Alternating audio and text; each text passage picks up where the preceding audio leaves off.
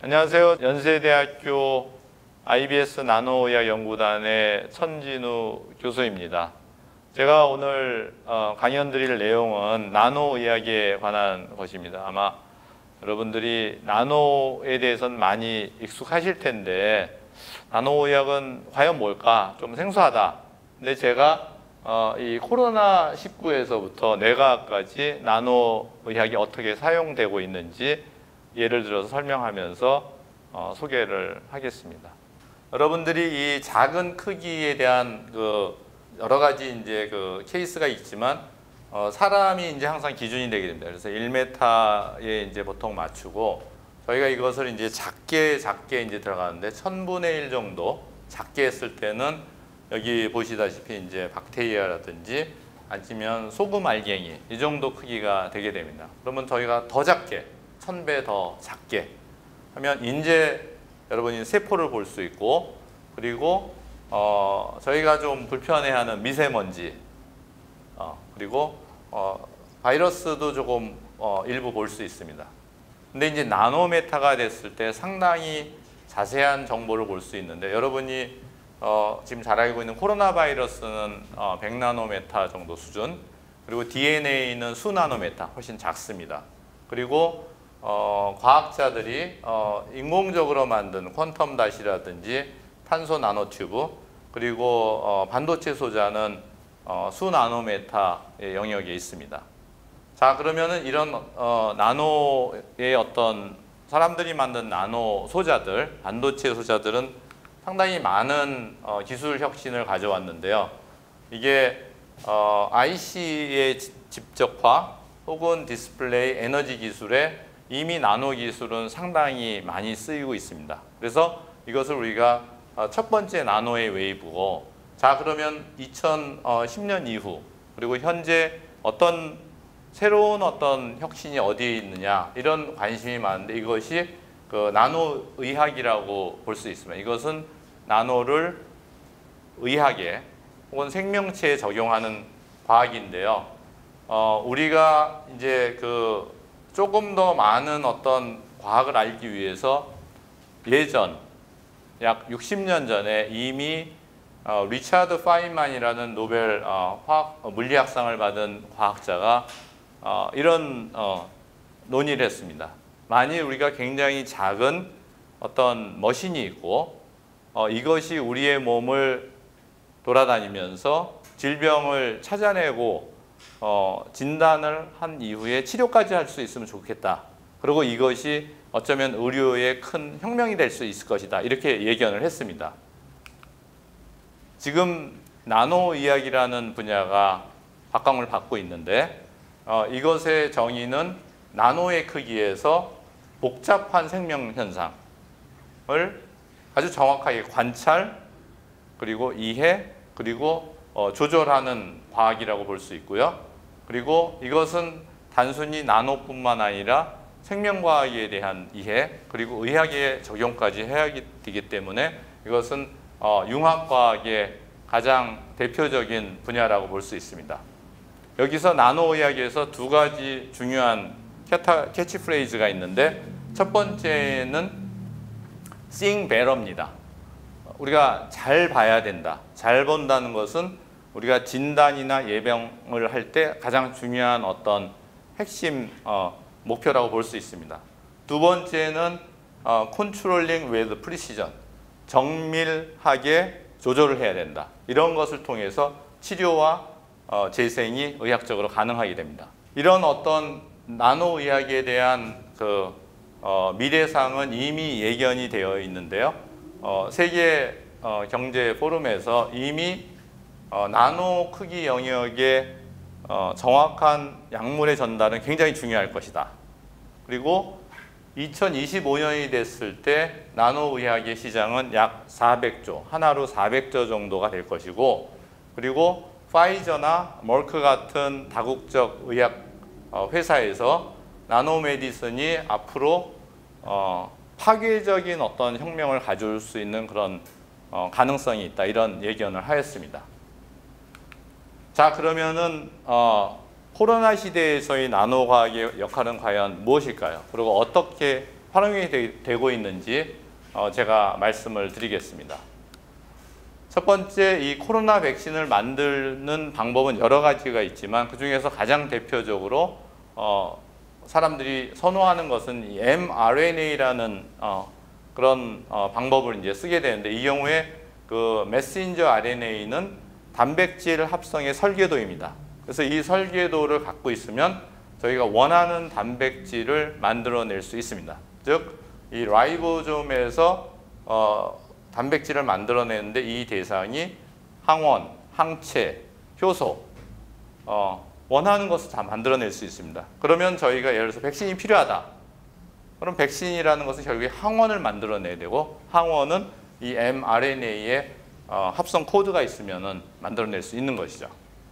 그런데 이것이 그 상당히 오랜 기간을 어, 걸려서 이런 어, 과학적인 어, 발전이 이루어지게 됩니다. 그 어, 주역은 어, 카탈린 카리코라는 어, 유펜 대학의 교수님인데요. 이분은 1990년대부터 이 어, 그 RNA의 그 어, 모디피케이션을 통해서 그 인공 핵산을 만드는 연구를 했습니다. 여기서 보시면 유리딘을 슈로 유딘으로 어, 어, 여기서 보시면 이제 나이트로진의 위치가 이제 바뀌게 되는데 어, 만들었습니다. 이것이 그 어, 인공 핵산을 통해서 원하는 단백질을 만들 수 있다라는 그 어, 가능성 그리고 어, 확증을 했고 또한 이것이 면역 회피, 회피 기능 즉 우리의 그 면역성을 저하시킬 수 있는 어, 그런 가능성을 이제 보여줬습니다. 그래서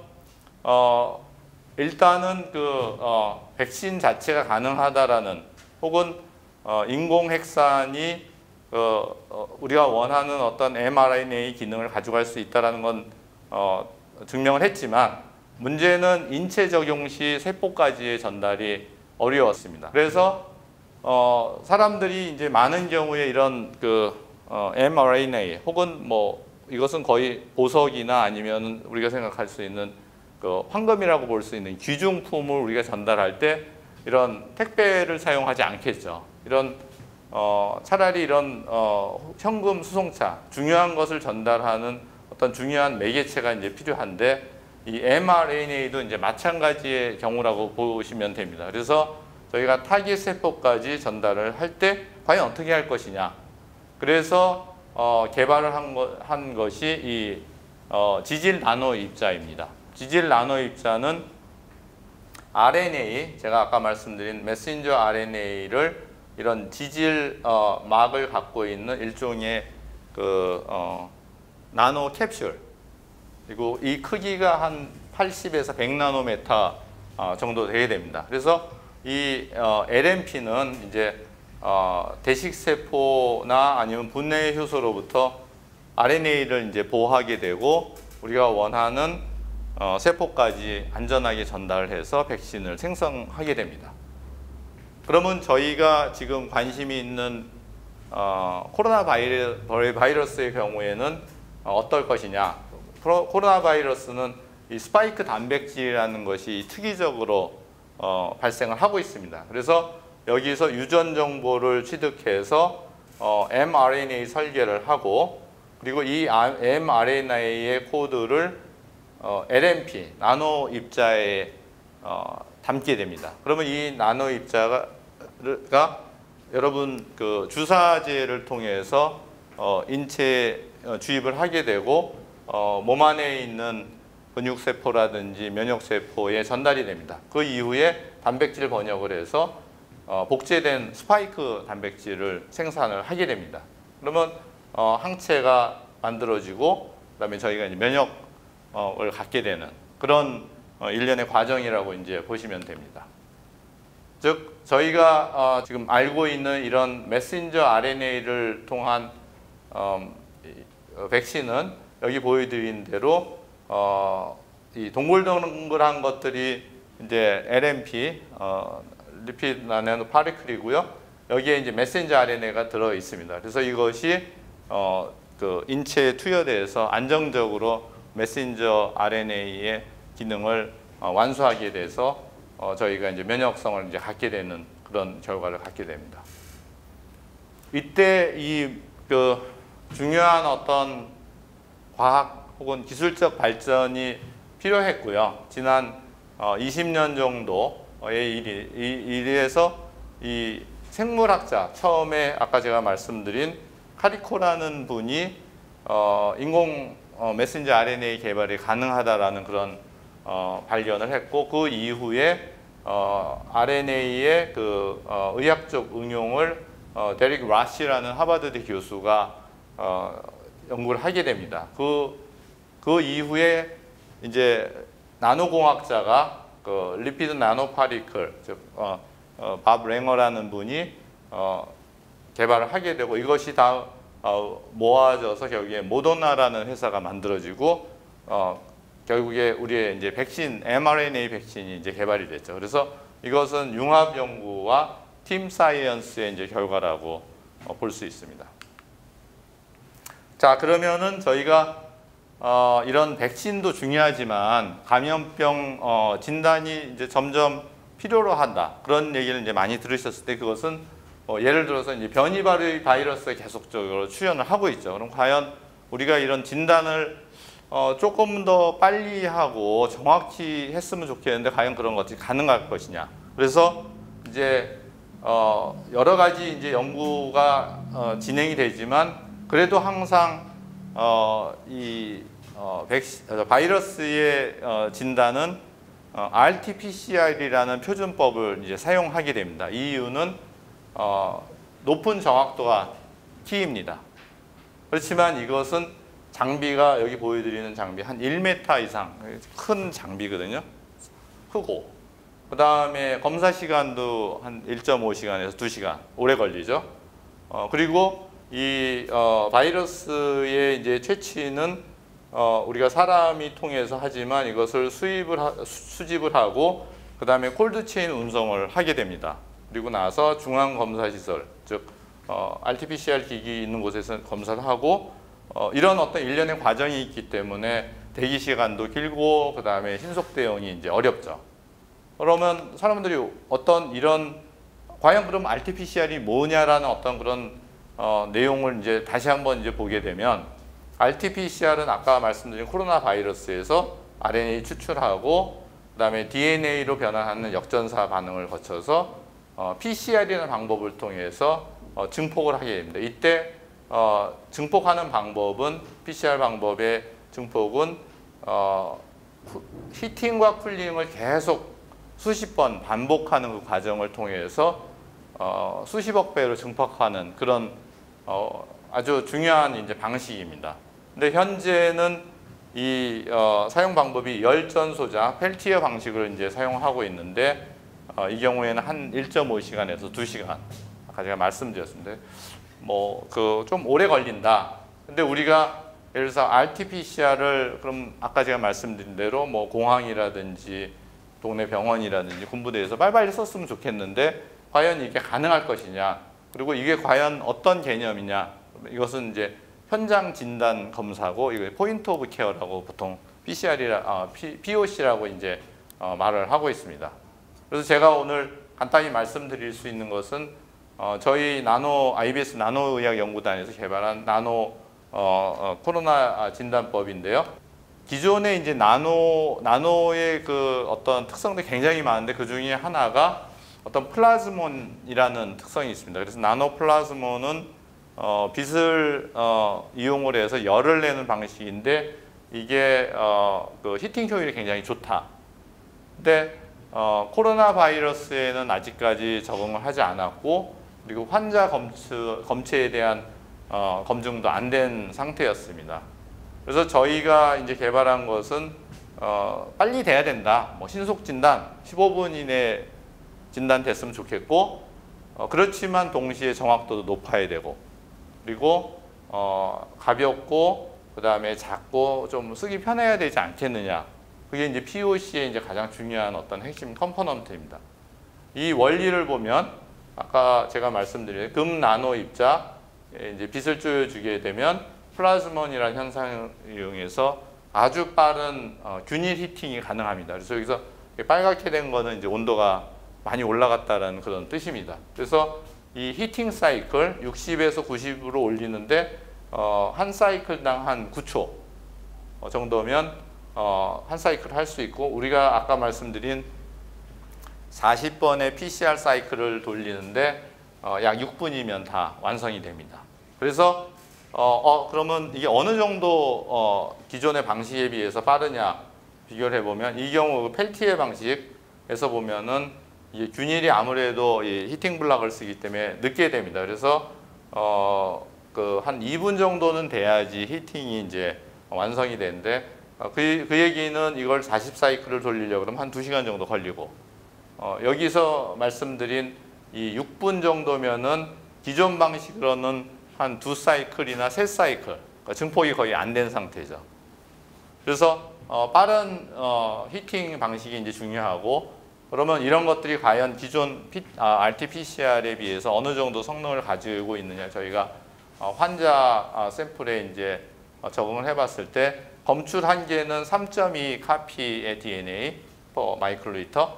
그래서 어, 민감도는 뭐 거의 어, RT-PCR 똑같고 그리고 저희가 150명의 그 양성과 음성 환자를 정확하게 진단할 수 있었고 어, 역시 어, 나노 PCR의 결과는 기존 RT-PCR하고 똑같습니다. 그래서 저희가 아, 이런 어떤 그 소형화된 어, PCR 어, 방법이 나노 기술, 나노 과학을 통해서 가능하다라는 것을 저희가 보여드렸습니다. 간단히 요 작동 과정을 이제 한번 보시죠.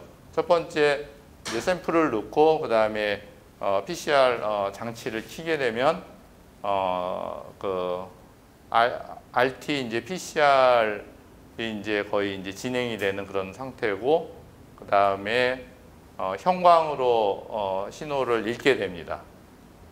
어, 이 이제 샘플의 이 환자의 경우에는 저희가 실험을 해봤을 때 어, 네가티브로 그 음성으로 이제 판명이 된 그런 결과입니다.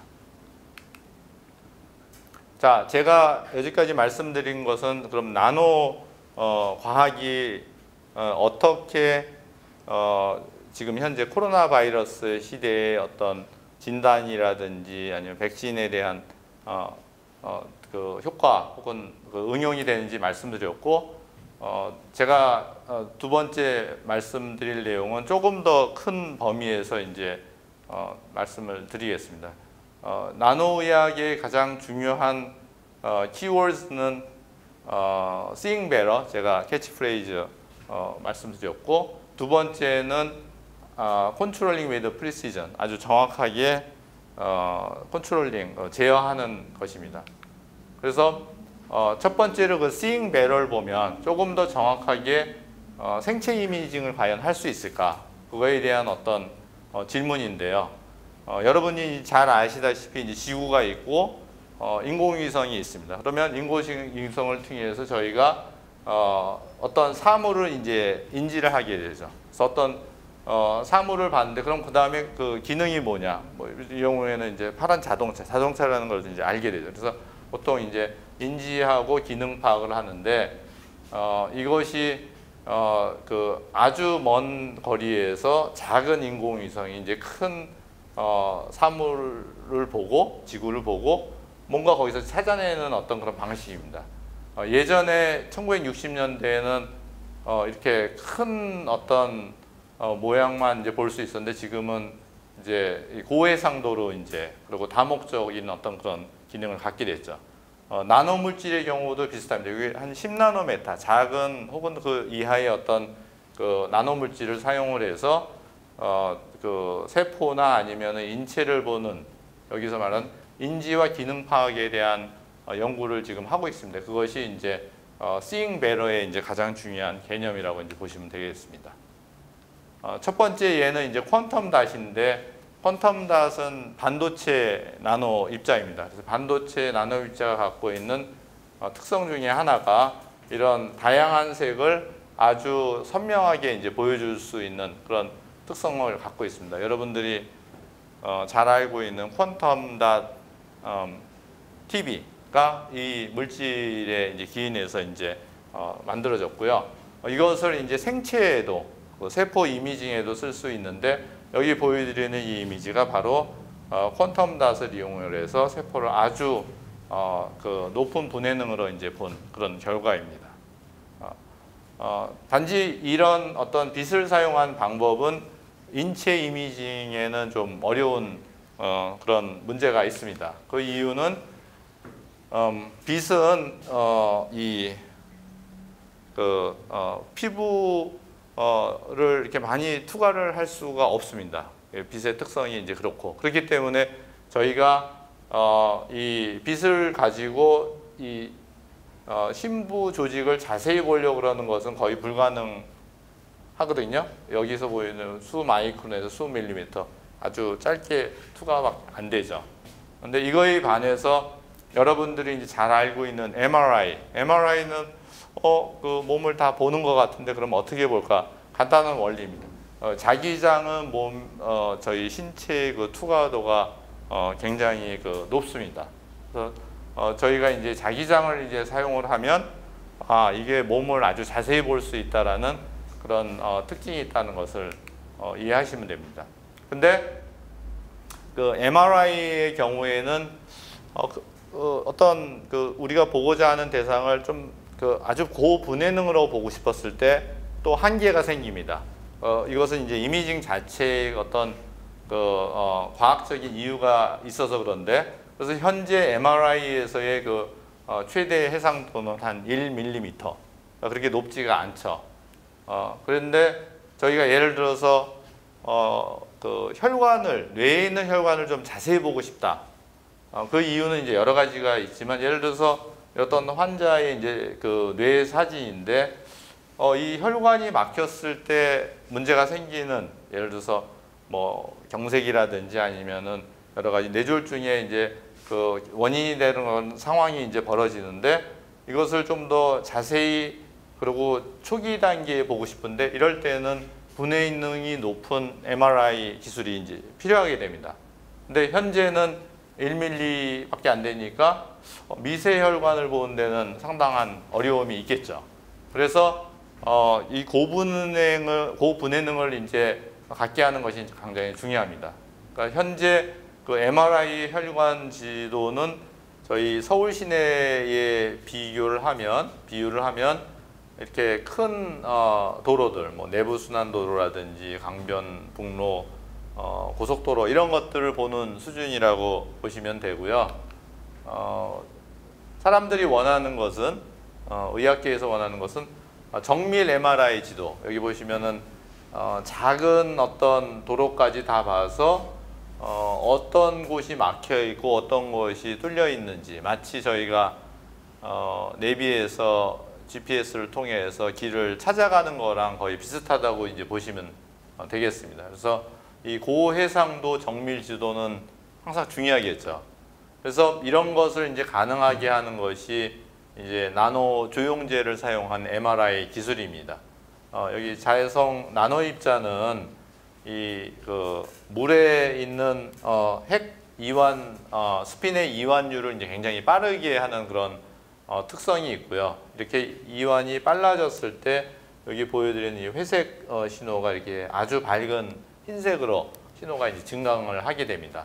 그래서 저희가 어, 최근 어, 어, 연구한 내용 중에 하나가 어, supramolecular amorphous iron oxide라고 해서 SAIO라고 그러는데 어떤 SAIO 나노 입자는 자성을 어, 가지고 있고 이것을 사용을 했을 때 어, 기존의 그 MRI 조영제 해상도에 비해서 한 10배 정도의 이제 그 증강을 이제 가져올 수 있는 그런 어, 특징 특성을 이제 갖게 되었습니다. 여기서 여러분이 보시면은 어, 1mm 정도에서 분해능을 볼 수 있지만 여기서 보시면은 어, 1mm 혹은 1000 마이크로미터보다 훨씬 작은 어, 크기 어, 100 마이크로미터까지 아주 선명하게 구별을 할 수 있습니다. 이것이 어, 이 사이오 입자의 이제 특성인데요. 어, 저희가 쥐의 뇌를 어, 3차원 3D 어, 뇌혈관 어, 이미징을 이제 해보았습니다. 이때 어, 아주 작은 어, 혈관을 어, 볼 수 있었고요. 어, 저희가 만일 조영제가 없이 MRI 영상을 찍으면 이렇게 어, 거의 어떤 특징이 없는 사진을 볼 수 있지만 어, 사이오 주입 후의 뇌혈관 영상은 어, 다양한 혈관 지도를 다 볼 수 있고 이때의 그 크기가 한 100 마이크로메타 정도까지 어, 볼 수 있습니다. 그래서 어, 이런 어떤 뭐 기존보다 한 10배 정도 더 좋은 정밀한 3차원 혈관 지도를 이제 만들 수 있고요. 그리고 이런 조영제들은 어, 그 사용 후 수시간 내에 몸에서 배출이 되고 어, 그렇기 때문에 어, 그 뇌나 아니면 심장에서 일어나는 다양한 질환들, 뭐 뇌졸중이라든지 어, 협심증이라든지 뭐 치매 이런 것들의 정밀 어, 어, 조기 진단이 이제 가능하게 됩니다. 즉 나노 이미징은 어, 더 선명하게 그리고 더 정확하게 어, 신체를 볼 수 있는 어, 그런 어, 특징이 있다고 보시면 되겠습니다. 제가 어, 나노 의학의 두 번째 어, 캐치프레이즈에 대해서 설명을 드리겠습니다. 이것은 controlling with 어, precision입니다. 어, 어떤 그 정확한 어, 제어 이런 것들은 생명 현상을 어, 이해하는 데도 중요하지만 특히 우리가 그 조절을 하는데 여기 예를 들면 단백질, 세포, 생체 기능 자체에 대한 그 조절의 새로운 가능성을 어, 열게 됩니다. 그래서 어, 제가 하나의 예를 드리고자 싶은 것은 어, 과연 그러면 이런 내과이라든지 우리가 굉장히 어렵다고 생각하는 어떤 그 미지의 과학에 어떻게 활용을 했는지 어, 말씀을 드리겠습니다.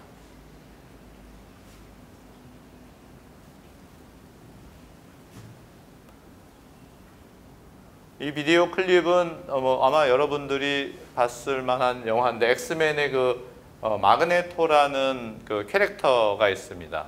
이 마그네토는 자기장을 이용을 해서 이 사물을 원격 어, 제어를 할 수 있는 그런 어, 초능력을 가지고 있죠.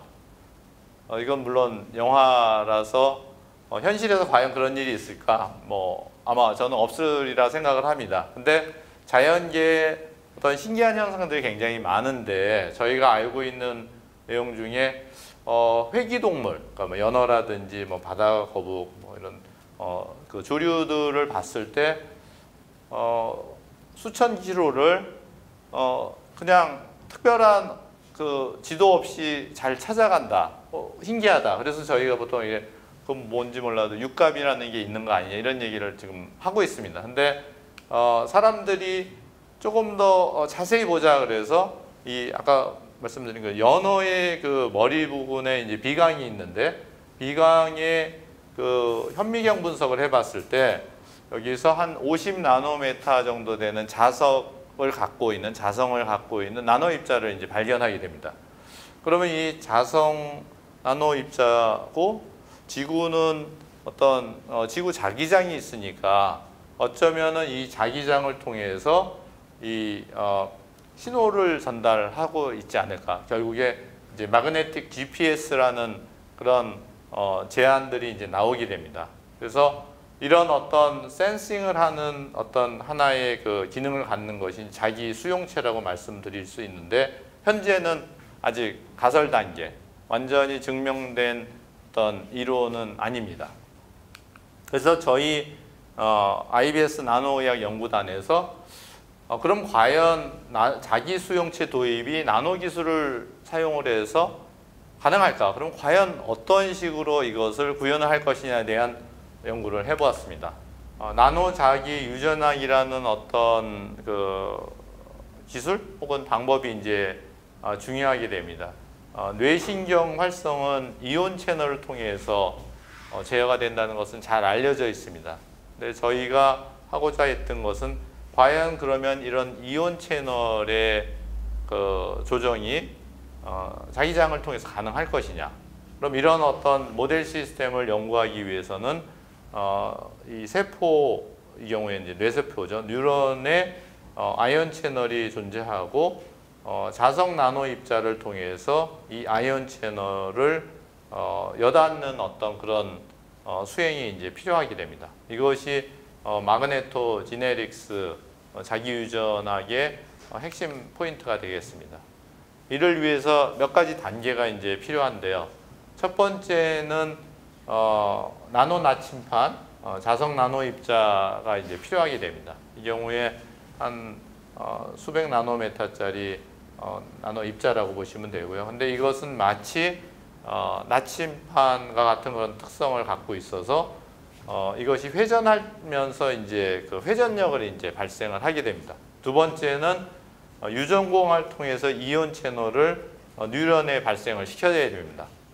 그리고 이런 이온 채널이 어, 발생한 어, 뉴런의 경우에 나노 나침판을 결합을 해서 아이온 채널의 어, 어, 개폐를 이제 조절을 이제 해야 되죠. 그래서 이 경우에 이제 열린다면 이제 칼슘 아연이 들어가서 이것이 이제 신경 어, 어, 그 어, 신호를 이제 활성화하게 하게 됩니다. 어, 제가 조금 전에 말씀드린 이제 나노 나침판의 역할이 이제 굉장히 중요한데요. 여기 보여드리는 이 장치가 어, 회전 자기장 발생 장치입니다. 그래서 이 회전 자기장이 어, 결국에는 나노 나침판을 어, 돌게 하고 이때 이제 토크가 발생을 해서 이제 회전력이 어, 그 아이온 채널을 어, 열게 되는 그런 과정이라고 보시면 됩니다. 여기 보시면 이제 자기 유전하게 그, 어, 그 과정을 이제 보여드리는 거죠.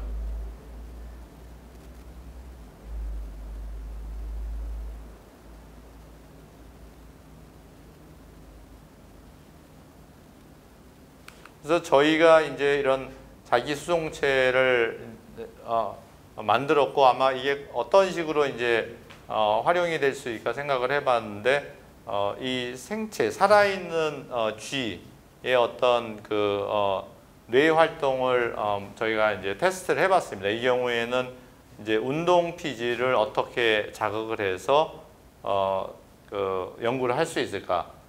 저희가 이제 한 방법은 이 이온 채널 유전자하고 나노 나침판을 운동 피질에 주입을 하고 그리고 이제 자기장을 이제 가게 됩니다. 이 경우에는 지금 지금은 이제 가만히 있는 이제 그 상태이죠. 근데 자기장을 저희가 이제 주게 되면은 어 바로 그 운동을 하게 됩니다. 이 경우에 이제 반시의 방향으로 어 그 쥐가 이제 어 회전을 하는 그런 어 상태입니다. 그래서 어 저희가 이제 이런 그 자기장을 통해서 뇌신경을 활성화할 수 있다라는 걸 이제 보여주었고요.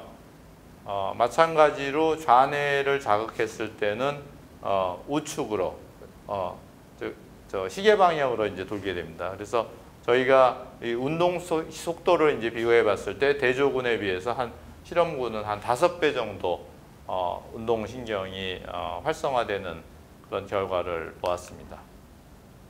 어, 제가 자기 유전화에 대해서 간단히 그, 어, 종합해 보면 어, 자기장을 통해 원격으로 어, 뇌신경의 활성화 가능한 그런 어, 과학이고요. 그리고 이제 세포서부터 대동물 그리고 아마 뇌신경망이라든지 다양한 뇌과학의 새로운 플랫폼이 될 수 있을 거고요. 어, 저희가 어, 미래에는 아마 이런 퇴행성 뇌질환, 파킨슨병이라든지 다양한 어, 질병의 어, 새로운 치료 방법으로 적용을 어, 했으면 좋겠다 이런 염원을 가지고 이제 연구를 진행을 하고 있습니다. 현재는 이 어, MG 마그네토 지네릭스의 장비는 거의 어, 사람들한테 쓰는 MRI 크기로 제작이 가능하기 때문에 아마도 그 추후에 어떤 질병의 그 치료 방법에 활용이 어, 되고자 어, 생각을 하고 있습니다. 제가 오늘 나노 의학에 대해서 이제 말씀을 드렸는데 어, 나노 의학은 이 나노과학에서 혹은 나노 물질이 갖고 있는 이제 물리적 특성을 이제 단백질, 세포, 조직의 뭐 이미징 혹은 어, 생명 현상의 이제 조절에 이제 사용을 하게 됩니다. 즉 seeing better, controlling with precision이 이제 중요하고요. 어, 어 그리고 어, 제가 잠깐 말씀드린 그 아주 복잡하고 미지의 영역인 그 뇌과학에도 이제 적용이 이제 가능한 말씀을 드렸는데 어, 자기장이었죠. 그래서 제가 말씀드린 것은 어, 자기 유전학 혹은 메가네토 지네릭스였는데 어, 광학이라든지 전기 이런 다양한 어떤 나노 기술에서 중요한 어, 물리적 어, 특성이 이제 어, 뇌과학에 많이 사용이 되고 있습니다. 그래서 어, 80년대, 90년대에 많은 연구를 한 것이 이 전극을 어, 뇌에 심어서 자극을 하는 어떤 방법이 있는데 이것은 어, 특히 이제 파킨슨 어, 병을 갖고 있는 분들에게 굉장히 효과적이고요. 지금 현재는 어, 그이 아주 미세한 나노 전극을 만들어서 어, 뇌에 자극도 하지만 거기서 어, 신호도 측정하는 그런 어, 기술로서 이제 진화하고 있습니다. 그리고 어, 어, 빛을 또 사용하는 어떤 새로운 방법들이 나왔는데 이것은 이제 광유전학 기술이라고 하고 있습니다. 어, 빛에 감응하는 이온 채널을 만들고 어, 그걸 통해서 뇌를 자극하고 어, 그 다음에 거기서 일어나는 이제 과, 저 뇌과학 어떤 그 어, 어, 여러 가지 그 현상들을 이제 알아내게 되는데 이때는 이제 광섬유 어, 임플란트를 이제 쓰게 됩니다. 그래서 광쉐입을 이제 들어가서 어, 그 신호를 이제 어, 제공을 하죠. 그리고 제가 조금 전에 말씀드린 자기 유전학 기술은 어, 자기 어, 장을 사용을 하게 되고 그 자기 감응 이온 채널을 이제 사용 어, 필요로 하게 됩니다. 그리고 어, 무선 혹은 어, 원격 조정이 이제 가능하고요. 그다음에 대동물 같은 경우에 이제 스케일업도 이제 가능하리라고 저희가 어, 예상을 하고 있습니다.